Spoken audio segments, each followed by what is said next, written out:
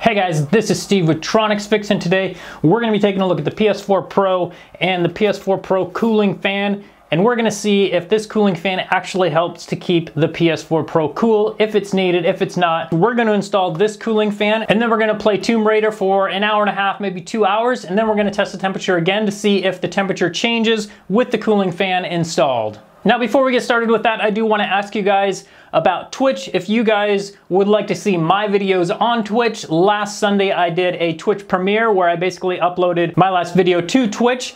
And if you guys are interested in that, I am willing to continue to do that and explore that if it's something you guys want to see from this channel. So with that all being said, let's get this cooling fan installed and get started with the gameplay.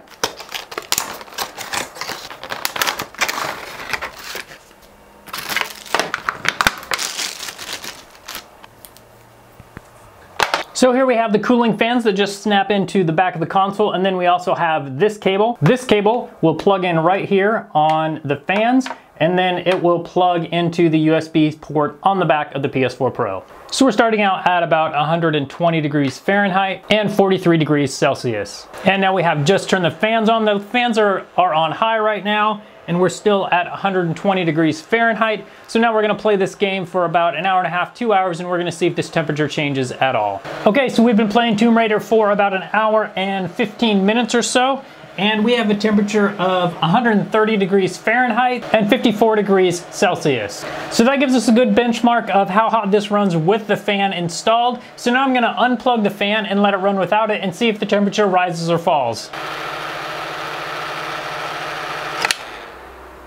You can hear how much quieter the console runs with the fans unplugged. So now I'm actually even gonna remove the entire fan from the back so it doesn't impede any of the airflow out the back of the console and then I'll play for another hour or so.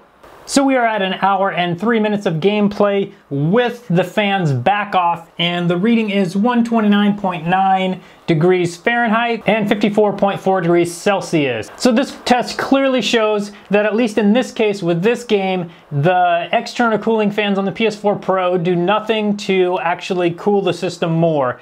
Now, if your console is really dirty or it's not in a well ventilated area or something like that, some sort of cooling fans may help. It's hard to tell for sure. The way these systems work is the fan stays at a constant level until the console decides that it needs to turn it on. If the console senses it's getting a little bit too warm, it will turn the fans on a little bit more to go a little bit faster and a little bit louder. So it is normal for these consoles to turn the fan on higher and louder when they get warm.